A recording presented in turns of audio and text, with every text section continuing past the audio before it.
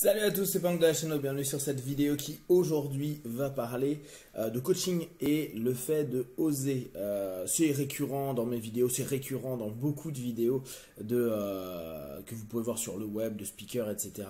Cette notion d'oser, d'oser mettre en place les choses, d'oser rentrer dans l'action, d'oser dépasser sa zone de confort, d'oser euh, être un peu plus soi-même, sans dire forcément qu'on va être apte à être complètement soi-même, mais en tout cas être de plus en plus soi-même. Hier, je vous parlais de cette notion euh, pendant euh, les fêtes de Noël, ou en tout cas les, différentes les différentes obligations que vous vous imposez, qu'on s'impose au quotidien à devoir être sympa dans telle ou telle situation, devoir faire des choses qui nous emmerdent profondément, alors que parfois il suffirait de dire non de dire stop, de dire j'ai pas envie, de dire je vais faire autre chose, de proposer autre chose, d'oser exprimer, d'oser agir. On se rend bien compte que euh, à peu près tout le monde, par pression sociale, par pression éducative, par pattern, c'est-à-dire par schéma que l'on a mis en place euh, depuis qu'on est gamin, euh, on se restreint à l'expression de nous-mêmes on se restreint à l'expression de nous-mêmes parce que automatiquement on, est dans cette attente de stroke positif la plupart du temps, mais certains sont aussi euh, basés sur des strokes négatifs. Euh, ce besoin d'être reconnu, validé. Et euh, on se restreint à être nous-mêmes, à oser faire une activité, exprimer des choses d'un point de vue physique ou d'un point de vue verbal, de, de, de, bouger ou de créer des choses parce que on va sentir à un moment donné qu'on n'est pas accueilli. Et euh, le point qui, va être utile à prendre en compte, c'est est-ce que nous, on, s'accueille dans cette notion d'oser? Est-ce qu'on s'accueille dans euh, ce que je vous disais la dernière fois, cette lumière qui nous appartient, qui peut briller, qui parfois peut euh, faire un peu mal aux yeux, qui parfois peut juste gêner les autres, qui peut parfois faire que les regards se centrent sur nous? Est-ce que on est à un moment donné apte à accueillir cette notion qui, qui va être en fait la conséquence d'oser.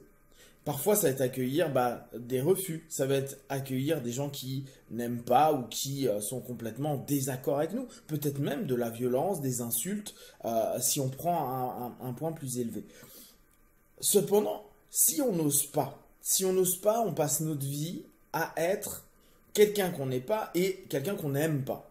Euh, si on s'accueille pas, on passe notre vie à tenter d'accueillir les autres, à espérer que les autres nous accueillent, mais à aucun moment euh, on va se sentir en phase parce que ce que les gens vont accueillir, c'est une personne qui n'est pas nous, et euh, on n'aura jamais osé montrer ce qui l'on est d'un point de vue mental, d'un point de vue physique, d'un point de vue émotionnel, et on va se retrouver dans une espèce de, de, carcan où le peu de fois on va se sentir accueilli, et souvent on va dire ouais bah euh, au moins avec eux je peux être vrai. Bah c'est encore un masque, c'est encore quelque chose ou quelqu'un qui n'est pas complètement nous.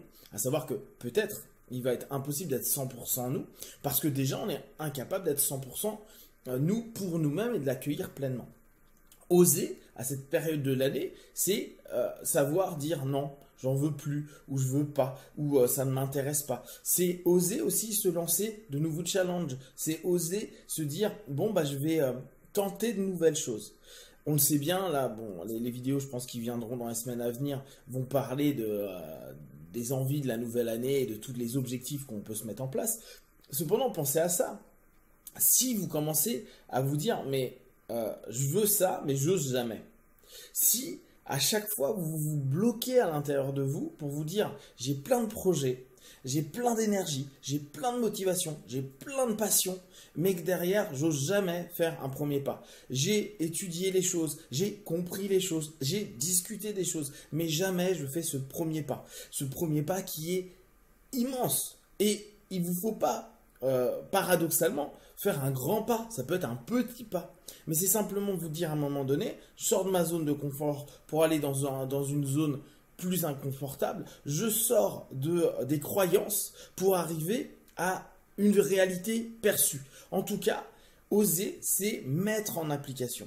C'est se mettre dans une condition qui nous permet à un moment donné de sortir du virtuel, du sortir de la théorie pour aller vers une forme de réel, en tout cas notre réel commun.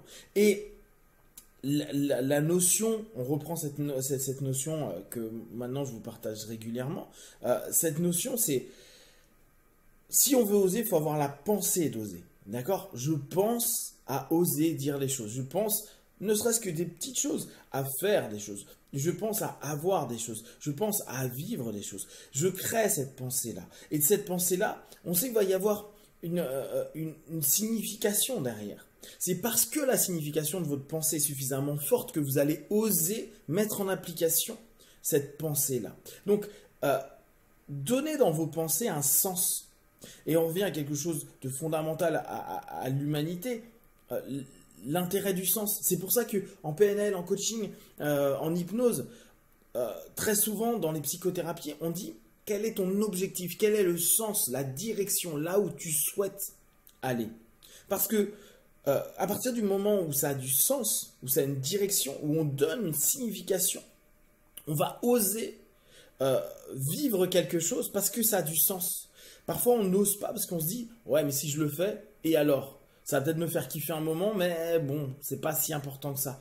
Et si on commence à donner du sens, oui, mais c'est davantage moi. Oui, mais c'est parce que c'est ce que j'ai envie de devenir. Oui, c'est parce que euh, c'est ce que j'ai envie de ressentir, percevoir, partager. Bah là, ça commence à avoir un sens.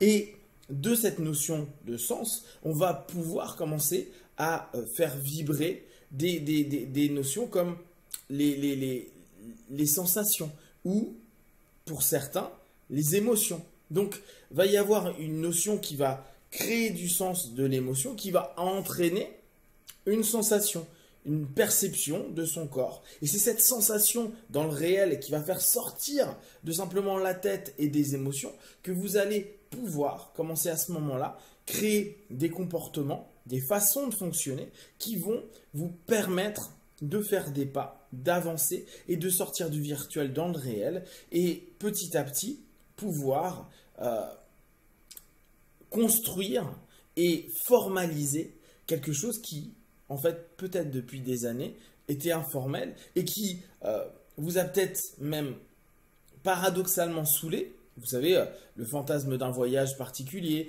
ou euh, de créer quelque chose, ou de rencontrer quelqu'un, ou de parler à telle personne. Et quand la réalité arrive, on se dit, bon, ouais, bah, c'était pas si bien. Et euh, pendant des années, on s'est, on, s'est créé des films qui pouvaient être bien, mais par moments qui étaient stressants, oppressants, qui étaient parfois même dégradants, à se dire, ah merde, je suis incapable d'aller faire le premier pas pour aller là, ou d'aller ici. Et quand on l'a fait, on se dit, bah, en fait, c'était que ça. Et parfois, c'était pas aussi stimulant que prévu, donc un peu décevant. Et euh, ce, qui est, dommage, c'est que si on avait mis plutôt en place, quand on peut, hein, bien sûr, euh, en admettant qu'on ait les paramètres qui le permettent, on aurait pu se dire, bah ça en fait, ça me correspond pas, et me dire, je vais être un globe trotteur, alors que euh, mes deux premiers voyages, ça m'a emmerdé, j'aimais pas prendre l'avion, j'aimais pas rencontrer des gens, j'aimais pas parler une langue différente.